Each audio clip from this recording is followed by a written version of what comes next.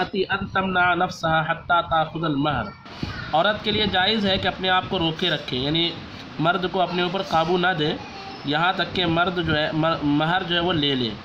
व तम नाहू युखर जहाँ और औरत मना कर सकती है शहर को कि उसे वो बाहर निकाले। यानी बाहर निकालने से मना कर सकती है। अपने के शहर का होशियारी करे कि चलिए हनीमून पे तशरीफ़ ले जाते हैं। तो औरत कहे कि पहले मेरा महर दे दीजिए, फिर हनीमून पे जाइए। है ना? अय युसाफिर बिहार यानी उसके साथ सफ़र करने से मना कर सकती है। क्यों? ले तयना हक़ हाफिल बदल, ताकि बदल में, यानी महर में उसका हक़ मुतन हो जाए। कमा तयना हक़ुज़ौज फिल मुबदली, जैसे मुबदल में शौहर का हक़ मुतन हो चुका। कि महर देना था और बुज़ा में उसका हक़ मुतन पहले हो चुका है ना तो अब औरत का भी हक़ मुतन हो जाए, इसलिए इख्तियार रहेगा कि वो महर वसूलने तक शोहर के साथ सफ़र करने से मना कर दे, यहाँ तक कि उसको अपने से वती करने से मना कर दे। वह सारा कल बई, और ये मसला बई की तरह हो गया कि जब तक जो है मबी ने अगर मुश्तरी ने कीमत नहीं दिया है तो मबी को बाए अपने पास रख सकता है और उसे जो है देना ज़रूरी नहीं है कि मुश्तरी को दे दे। बस समझ में आई? जैसे आपने मुझसे बाइक ख़रीदी, पैसे आपने दिए नहीं है तो मैं अपने बाइक को रोके रखूँगा जब तक कि आप पैसे ना दे दें। इसी तरीके से यहाँ। वलई सलीज़ौज अयमना मिन सफ़र वलखरूज मंजिल ही व ज़ियारत अहलिया हत्ता युफ़ियालमर और शौहर के लिए ये जायज़ नहीं होगा कि औरत को सफ़र से रोके चाहे सफ़र शर्य हो, जबकि वो अपने महरम भाई वगैरह, बाप वगैरह के साथ जाना चाहे। सफ़र से रोके, वल खरूज में मंजिल ही और उसके घर से निकलने से रोके, व ज़ियारत अहलिया और और औरत को अपने घर वालों के मुलाकात से रोके। ये हक़ नहीं है शोहर को। हत्ता युफ़िहल महर कुल महरा कुल्लहू जब तक कि वो शोहर औरत को पूरा पूरा महर ना दे दे। जब पूरा पा, पूरा पा, महर जो है शोहर औरत को दे देगा तो गोया के मुबदल मिन हो इसका हो चुका। अब इसको जो है ना मुबदल इसका हो चुका है। अब इसको इख्तियार रहेगा कि वो औरत को इस तरह की चीज़ों से बाज रखे रोके। और यहाँ महर से मुराद महर मुअज्जल है, यानी जो कैश देने की बात हुई थी और नहीं दे रहा है। और एक महर महर मुअज्जल है, जिसमें वक्त तय हुआ था वह तो महर मुअज्जल का मसला नीचे आ रहा है। कहते हैं लन्ना हक़ल हब्स इस्तीफ़ाइल मुस्तक़ी इसलिए कि रोकने का हक़ कब था? ले इस्तीफ़ाइल मुस्तक़ी मुस्तहक को अदागी मुस्तहक को पूरा पूरा देने के बाद, यानी जो चीज़ जिस चीज़ पर औरत का हक़ है, यानी महर, उस महर को जब तक पूरा पूरा शोहर ना दे दे, उस पूरा पूरा होने से पहले पूरा पूरा ना दे दे तो देने से पहले पहले जो है ना, उसको शोहर को रोकने का हक़ हासिल नहीं। वलई सलह हक़ुल इस्तीफ़ा कबल ईफ़ा, और इस्तीफ़ा का हक़ शोहर को, यानी उसको रोके रखने का हक़ ईफ़ा, यानी महर देने से पहले पहले हासिल नहीं है। वलो कान महर कुल्लू मुअज्जल सलाह तबना नफ्सहा। और अगर पूरा का पूरा महर मुअज्जल हो, ठीक है, ये हुआ था कि हम आपको पाँच साल में देंगे तो पा, कहते हैं लई सलाह अन तमना नफ्सहा तो अब औरत को हक़ नहीं है कि वो अपने आप को रोके। क्यों? क्योंकि उसने क्या कर दिया, लेस्कात लेस्कात हक़ कहा बिताजील क्योंकि औरत ने अपने हक़ को ताजील के ज़रिए से साकित कर दिया। रोकने का जो हक़ था, इस हक़ को ताजील के ज़रिए, यानी मुद्दत दे करके शोहर को कि ठीक है, पाँच साल के बाद देना। ये मुद्दत देकर औरत ने अपने हक़ को क्या कर दिया? साकित कर दिए कमाफिल बई, जैसे बै में कि मैंने बाइक आपसे बेची और कहा कि आप एक साल के बाद मुझे कीमत देना। डन हो गया मामला। तो अब मैं बाइक अपने पास रखने का मुख्तार नहीं हूँ, आपको देना पड़ेगा। यानी मैं आपको मैं आपको दूँगा, ऐसा ज़रूरी है। वफ़ी खिलाफ अभी यूसुफ़, और इसमें इमाम अबू यूसुफ़ का इख्तलाफ है। इमाम अबू यूसुफ़ कहते हैं कि अभी भी उसको अपने आप को रोकने का और शोहर को अपने ऊपर काबू ना देने का हक़ हासिल रहेगा। अच्छा व इन दखला भी हाँ फ़कदल जवाब, फ़कदालकल जवाब। और अगर शोहर ने मिसाल के तौर पर उससे फुसला करके, बहला करके, मना करके दखूल कर लिया तो भी मसला ऐसा ही रहेगा। ऐसा नहीं कि एक बार उसने जो है बाजी मार ली तो कहा यह जाएगा कि ठीक है भैया, अब तो एक बार जब तुम दे चुके हो तो अब तुम्हारे साथ क्या रहा? बार बार टेंशन क्या है? तो ऐसा नहीं। ये इंदा भी हनीफ़ा, इमाम अबू हनीफ़ा के नज़दीक ये मसला है। वक़ाला और साहिबन फरमाते हैं नई सलाह अन तमना नफसहा। अब यानी दखूल जब कर चुका है, दखूल पर वो राज़ी हो गई अगरचे उसको हक़ था पहले पहले हक़ था कि वो रोके रखे, लेकिन एक बार जब उसने मामला खरा मतलब मामला बिगाड़ दिया और और शहर को काबू दे दिया, जिसका मतलब वो राज़ी हो चुकी है। यानी इस बात पर वो राज़ी हो चुकी कि कोई बात नहीं, आप महर वक्त पर दे देना। अब उसको इख्तियार नहीं रहे नहीं रहेगा। लई सलाह तमना नफ्सा। वल खिलाफ़ फ़ीमा इदा कानत दखूल कहते ये इख्तलाफ उस सूरत में है जबकि दखूल औरत की मर्ज़ी से हुआ हो। तो साहिबैन फरमाते हैं कि औरत इस बात पर राज़ी हो गई कि महर उसको बाद में दिया जाए। और इमाम आज़म फरमाते हैं कि एक बार अगर राज़ी हो भी गई तो भी क्या? एक ही बार का वती करना पूरे महर के लिए बदल थोड़ी बन जाएगा? ये इमाम आज़म मुनीफ़ा फरमाते हैं। हाँ हत्ता लौकानत मुकरहतन, अगर उससे ज़बरदस्ती की जाए अवकानत सबीयतन, या वो बच्ची थी, और मजनूनतन, या वो पगली थी, ला यसकुत हक़ फ़िलहबस बिलतफ़ाक़ तो रोकने के सिलसिले में औरत का हक़ बिलतफ़ाक़ साकित नहीं होगा। कभी भी औरत जो है, अपने आप को उससे रोक सकती है, अगर उससे ज़बरदस्ती की गई है। अच्छा उसके बाद है अला हादर खिलाफ़ अलखलवत बिहा बिरज़ा और इसी इख्तलाफ पर है उस सूरत में जबकि औरत से खलवत उसकी मर्ज़ी से हुई हो। वयबतनी अला हाजा इस्तेकानफ़ती और इसी मसले पर नफ़ा के इस्तेकाक की बुनियाद भी रहेगी कि नफ़ा वो औरत पाती है जो औरत फरमा बरदार हो। ठीक है? तो अब इस सूरत में जबकि औरत की मर्ज़ी से उसके साथ दखुल हो गया तो क्या वो बाद में अपने आप को रोके रख सकती है? वती से अगर कोई औरत अपने आप को रोके, शोहर को वती ना कर दे तो वो फ़िकी तौर पर नाशेज़ा, यानी उसको हम बोल सकते हैं कि नाफरमान कहलाती है। और नाफरमान को शोहर पर वाजिब नहीं है कि नाशेज़ा औरत को नफ़ात दे। तो अब मिसाल के तौर पर साहिबन ने फरमाया कि एक बार उसकी मर्ज़ी से वती हो गई तो बाद में उसको रोकने का इख्तियार नहीं होगा, इमाम आज़म के नज़दीक इख्तियार रहेगा। तो इमाम आज़म के नज़दीक एक बार वती होने के बावजूद अगरचे उससे रजामंदी से वती हुई हो तो भी औरत को इख्तियार रहेगा कि अपने आप को शोहर के हवाले करने से रोके और इस सूरत में वो नाशज़ा भी नहीं कहलाएगी। और साहिबन के नज़दीक क्या कहलाएगी? बोलिए। नाशजा कहलाएगी ना उसको इख्तियार नहीं रहा हबस का। आवाज़ आ रही कि नहीं आ रही है? जी आ रही है। हम्म। तो साहिबैन के नज़दीक अगर वो अपने आप को रोके तो नफ़ा का हकदार नहीं होगी और इमाम आज़म के नज़दीक रहेगी क्योंकि उसको हक़ हबस यानी अपने आप को रोके रखने का हक़ हासिल है। अब दलील सुनिए लहुमा अन्नल माकूद अलही कुल्लहु कद सारा मुसलमन बिलवतियतिल वाहिदा। साहिबन ये फरमाते हैं कि माकूद अलह, यानी जिस चीज़ पर अक्द हुआ, वो है बुज़ा। ठीक है? बुज़ा से इस्तेफ़ादा करना, इसी पर अक़द होता है। तो जिस चीज़ पर अक़द हुआ, वो तमाम का तमाम सौंप दिया गया। कब? बिलवतीतिल वाहिदा, पहली बार की वती से। यानी एक बार औरत ने अपने आप को, अपने आप पर शोहर को इख्तियार दे दिया। तो ये पहली वती से ही माना ये गया कि उसने अपनी चीज़ को जो मुबदल है, यानी बुज़ा को सौंप दिया शोहर को। जब सौंप दिया तो अब वो एक बार, उसके बाद दूसरी, तीसरी, जब चाहे वती कर सकता है। तो वतिय वाहिदा से या खलवत वाहिदा से औरत ने मुसल जो है, माकूद अलह तमाम का तमाम शोहर को क्या कर दिया? सौंप दिया। इसको यूँ फरमाया गया, अन्नल माकूदा अलही कुल्लहु कद सारा मुसलमन अलही माकूद अलह पूरा का पूरा शोहर को सौंप दिया जा चुका। बिलवतीतिल वाहिदा, वतिया वाहिदा से और बिलखलवती या खलवत वाहिदा से। वलिहादा यतअक्कदु बिहा जमीउल साहिबन कहते इसीलिए तो एक बार की वती से भी या एक बार की खलवत सहीहा से भी पूरा का पूरा महर देना मक्द हो जाता है। बराबर है कि नहीं? अगर एक बार भी शोहर ने औरत से वती कर लिया और बाद में तलाक दिया तो पूरा महर देना वाजिब होता है कि नहीं होता है। इसका मतलब ये हुआ कि एक बार की वती कर लेना ही गोया के पूरे माल पर, यानी बुज़ा पर जो है शौहर का कब्ज़ा हो गया और माना यह जाएगा कि शौहर को औरत ने बुज़ा तस्लीम कर दिया। फ़लम यब कला हब्स कलबाई तो अब उसको हक़ के हबस, यानी रोकने का औरत को हक़ नहीं रहेगा। जैसे बेचने वाले ने, एक बार मैंने आपको गाड़ी दे दी कि ये लिए ले लीजिए भैया, आपकी गाड़ी है, पाँच साल के बाद आप मुझे पैसे देना तो पाँच साल से पहले पहले मुझे मुतालबे का हक़ नहीं रहेगा। मैं ये नहीं कर सकता कि अब मैं आपको गाड़ी नहीं दूँगा। एक बार दे दिया, मुबदल तो बदल देने की जो बात है, जब उस वक्त तक जो है मुझे इख्तियार नहीं रहेगा रुकने का। इरासलमल मबी, जबकि बाए मबी को क्या कर दे? बोलो भाई, सौंप दे। जैसे बाइक मैंने आपको दे दी। और इमाम आज़म फरमाते वलहू अन्ना मनात मिन हो माँ काबला बिल बदल। इमाम आज़म फरमाते हैं कि औरत उससे वो चीज़ रोक रही है, जो बदल बनने की काबिलियत रखती है। हर वती इमाम आज़म फरमाते हैं कि हर वती बदल बदल बनने की काबिलियत रखती है।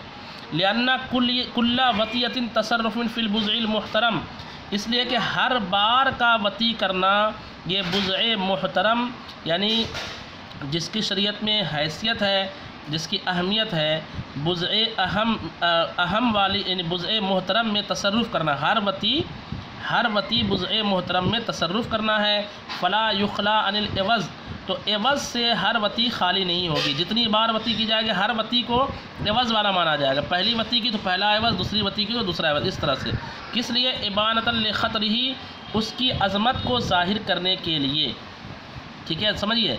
वतअक्दु बिलवाहिदतिल जहालत मावरा और ऊपर जो हमने कहा ना कि एक बार वती करने से पूरा महर वाजिब हो जाता है, अगर बाद में तलाक दे दे शोहर तो उसकी वजह यह है कि तअक्कुद बिलवाहिदा यानी एक बार वती कर लेने से पूरे महर को मुक्कत करना यह जहालत मावरा की वजह से है। यानी उसके बाद कितनी मरतबा वती करे कि जिससे पूरा महर वाजिब होगा, ये बात मजहूल है। और एक बार कम से कम वती कर लिया, ये बात मालूम है। तो मालूम ही पर क़यास करते हुए हमने पूरे महर का पूरे महर का वजूब का हुक्म दिया। फ़ला यसलह मुज़ाहिम मालूम। तो जो मजहूल है, वो मालूम का मुकाबिल नहीं हो सकता। समझिए बात को। मजहूल मजहूल है अनगिनत बार। और मालूम क्या है? एक बार। तो जो चीज़ मालूम है जो चीज़ मजहूल है कि सौ बार वती करने से महर वाजिब होगा या एक हज़ार बार तो उसके मजहूल है ना, वो कितनी चीज़ें, ज़िंदगी भर कितनी बार वती करेगा, ये बात मजहूल है। तो और एक बार कम से कम वती कर लिया, ये मालूम है। तो इसलिए वहाँ महर वाजिब करने के सिलसिले में हमने क्या किया? मालूम पर अमल किया। और मजहूल जो है, वो मालूम का मुकाबिल नहीं बन सकता। लेकिन हर बार का वती करना जो एक तसरुफ़ है बुज़ मोहतरम में, और इस तसरुफ़ बुज़ मोहतरम के एहतराम को ज़ाहिर करने के लिए माना यह जाएगा कि हर बार का वती करना एवज़ के लायक है। सुम्मा इदा वजदा वतीन आखर, फिर जब दूसरी वती पाली गई, सारा मालूम है तो दूसरी वती मालूम हुई तहक़ कतिल मुजाहिमत तो अब मुजाहमत साबित होगी।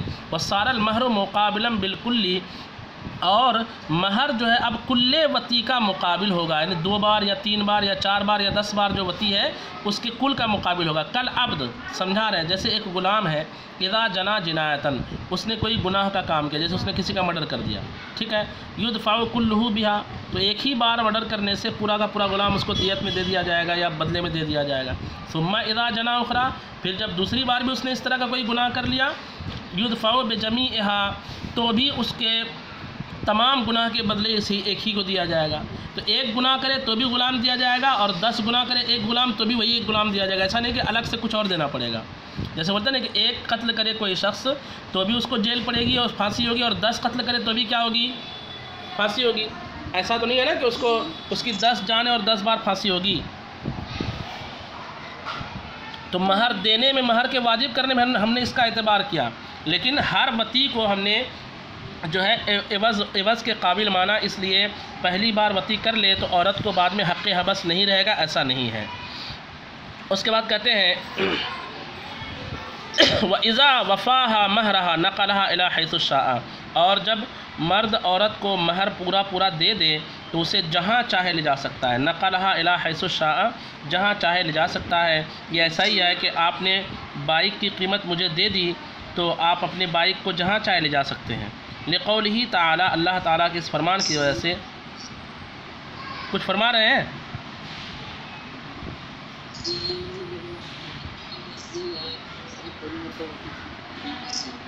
जी? क्या बोल रहे हैं?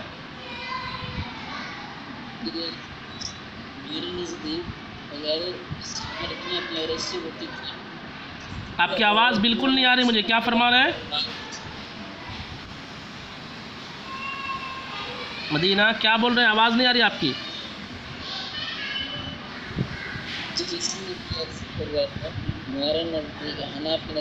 किसी ने वक्ती किया अपनी बीवी से अगर वो दोबारा वक्ती करना चाहे तो किसी अपने शोहर को रोक सकती है वक्ती करने से हाँ जी हाँ जी हाँ अगर महर नहीं दिया है शोहर ने तो औरत को वती से रोकने का हक हासिल है जी। उसके बाद फरमाया गया कि जब वती महर पूरा पूरा दे दे तो औरत शौहर को, शौहर औरत को जहाँ चाहे ले जा सकता है, अल्लाह ताला के फरमान की वजह से अस्किन मिन हैस सकम तुम उसे बसाओ जहाँ तुम बसते हो। वकील अल्लाह जोहा और एक रिवायत में कहा गया है कि मर्द औरत को जहाँ चाहे वहाँ नहीं ले जा सकता। ला युखरजुहा अला बलदिन गैर बलदिहा, उसे ले जा नहीं सकता ऐसे शहर की तरफ़, जो शहर इसके शहर के अलावा हो। क्यों? अनल गरीबत तूज़ी। इसलिए कि शहर में अजनबीयत, यानी अनजान जगह ले जाना, अनजान होना, अगरीबत से मुराद अजनबीयत। इसलिए कि अजनबीयत औरत को तकलीफ़ देगी। वफ़ी कुरल मिस्र करीबत ला तहक़ुलगुरबत और शहर के करीबी गाँव में गुरबत का तहक़ नहीं होगा, अजनबीयत का तहक़ नहीं होगा। जैसे मिसाल के तौर पर, बंगाली औरत को मराठियों में लेके चला जाए और मराठियों को बंगालियों में लेके चला जाए तो बड़ी तकलीफ़ होगी ना बोलने में, बातचीत करने में रहन सहन में। तो इस तरह ना करें। अगर औरत राज़ी नहीं है तो ना करे। और अगर राज़ी है तो कर सकता है। लेकिन मुफ्ता भी कौल यही है कि जहाँ चाहे मर्द ले जा सकता है। हाँ काजी के पास जब कोई मसला जाएगा तो काजी जो है मामला को देख करके इसके ख़िलाफ़ फ़ैसला दे सकता है कि आप नहीं ले जा सकते हो। लेकिन कौल मुफ्ती मुफ्ती क्या फतवा देगा? मुफ्ती फतवा ये देगा कि आप जहाँ चाहे ले जा सकते हैं। क्योंकि कुरान पाक में है बस मिन मिनहाई सकन तुम उसके बाद है वमन तजब वजह इमरातन किसी ने किसी औरत से शादी की सुम्मा तलफ़ा फिल महर। फिर महर महर में इख्तलाफ हो गया। तो ये बड़ा तफसील तरफ़ मतला है कि इख्तलाफ कब हुआ? दखुल से पहले दखुल के बाद मौत से पहले मौत के बाद। है ना महर मुसम्मा में इख्तलाफ हुआ महर मिसल में इख्तलाफ हुआ या इस बात में इख्तलाफ हुआ कि महर तय हुआ था या नहीं हुआ था? तय हुआ था इतना इतना हुआ था वगैरह वगैरह। दोनों दलील दे दे या दोनों में से कोई दलील ना दे कई सूरतें इसकी बनेगी। जी? उसका सब जैसे अपने काजी तो ज़्यादा किसकी बात पर अमल किया काजी साहब? अगर औरत केस दायर करे तो काजी जैसा फैसला देगा, उस एतबार से अमल किया जाएगा, ठीक है? और अगर केस दायर ना करे तो मुफ्ता भी कौल तो है ही है। तो जहाँ कज़ा कज़ा की बात कब आती है? जब दोनों फरीक राज़ी ना हो किसी फ़ैसले, किसी हुक्म शरा पर तो अब हिकम बना करके काजी को जो फ़ैसला लिया जाएगा। काला वमन तजब वजह जैसे बोलते हैं ना कि आपने कहा इमाम फासिक और इमाम कह रहा है, मैं फासिक नहीं हूँ। आपने सवाल भेज दिया कि ऐसा सा इमाम करता है, क्या हुक्म है? तो मुफ्ती ने तो कह दिया कि फासिक है। लेकिन इमाम उस बात को नहीं मान रहा कि मैं फासिक नहीं हूँ। तो अब यह मामला कहाँ तय होगा? अब कज़ा में जाकर मामला तय होगा ना। ऐसा थोड़ी कि मुफ्ती के कह देने से किसी की बीवी को तलाक पड़ जाएगी। आपने लिख करके दे दिया कि जैद ने अपनी बीवी को तीन तलाक़ें दी, क्या हुक्म है? तो मुफ्ती फतवा दे देगा कि तीन तलाक पड़ गई। अब जैद कह रहा है कि नहीं, मैंने तलाक दी नहीं, ये झूठ बोल रहा है। तो अब कौन सच बोल रहा है, कौन झूठ बोल रहा है? ये मुफ्ती फैसला करेगा, काजी फैसला करेगा।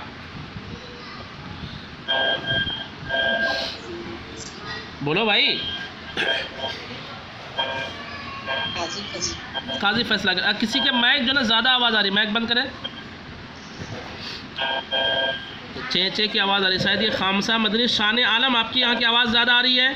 खामसा मदनी शान आलम लिखा हुआ है। हाँ अभी आवाज़ बंद हुई। वमन तजब वजह इमरातन, किसी ने किसी औरत से शादी की सुमख तलफ़ा फिलमहर फिर दोनों महर में इख्तलाफ करने लगे, झगड़ने लगे। इतना था इतना था। फ़ल कौलू कौलू फ़ल कौल कौलमर अती अला तमामी महर मिसलिहा, वल कौल कौलज़ौज फ़ीमा ज़्यादा अला महर मिसल। एक एक मसला समझते जाइए। तो बात औरत की मानी जाएगी महर मिसल की तमामियत तक, और महर मिसल से बढ़ करके हो तो शौहर की बात मानी जाएगी। फ़र्ज़ कीजिए, औरत का महर मिसल बनता है पंद्रह सौ रुपये। शहर कह रहा है कि आपका जो है ना वो हज़ार रुपये महर तय हुआ था। औरत कह रही नहीं दो हज़ार रुपये महर तय हुआ था। तो पंद्रह सौ रुपये तक जो है ना किसकी बात मानी जाएगी? अगर वो हज़ार रुपये कहे औरत कहे हज़ार रुपये तय हुआ था। आ, ये महर मिसल तक जो है औरत की बात मानी जाएगी और महर मिसल के ऊपर की अगर बात करें तो किसकी बात मानी जाएगी? शौहर की बात मानी जाएगी। बात समझ में आई कि नहीं आई? हाँ। व इन तल्लक़ा कबल दखूल बिहा, फ़ल कौल कौल फ़िलसफ़िल महर। और अगर औरत ने, औरत को शौहर ने दखूल से पहले तलाक़ दे दी तो अब महर के में झगड़ा हो जाए कि कितना महर तय हुआ था। तो निसफ़ महर में, निसफ़ महर तक शौहर के कौल का एतबार किया जाएगा। निसफ़ महर तक शौहर के कौल का एतबार किया जाएगा। मतलब निसफ़ महर तक मतलब क्या?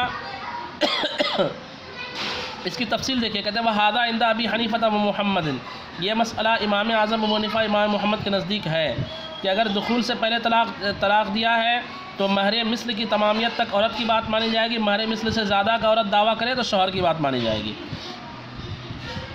वक़ाल अबू यूसुफ़, इमाम अबू यूसुफ़ फरमाता अच्छा ये मसला पीछे एक बार पढ़े थे कि इमाम आज़म अबू हनीफ़ा के नज़दीक जो निकाह में असल महर मिसल है और इमाम अबू यूसुफ़ के नज़दीक निकाह में असल महर मुसम्मा है। ध्यान में है कि नहीं जुजिया ये?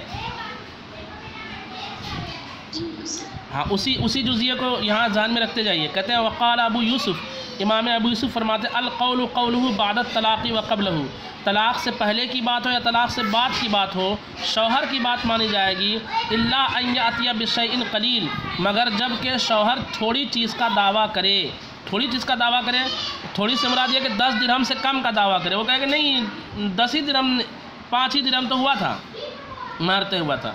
माला तारफ़ महर लहा जो कि उसके औरत के लिए महर बनने का मुतारफ़ ना हो। यानी उस तरह की औरत का महर बनता हो, एक हज़ार, और ये कहे कि दो सौ रुपये महर तय हुआ था। तो इसमें शोहर की बात नहीं मानी जाएगी, अगर वो कहे कि बारह सौ महर तय हुआ था और औरत कहे नहीं, दो हज़ार तय हुआ था तो बात किसकी मानी जाएगी? बोलिए।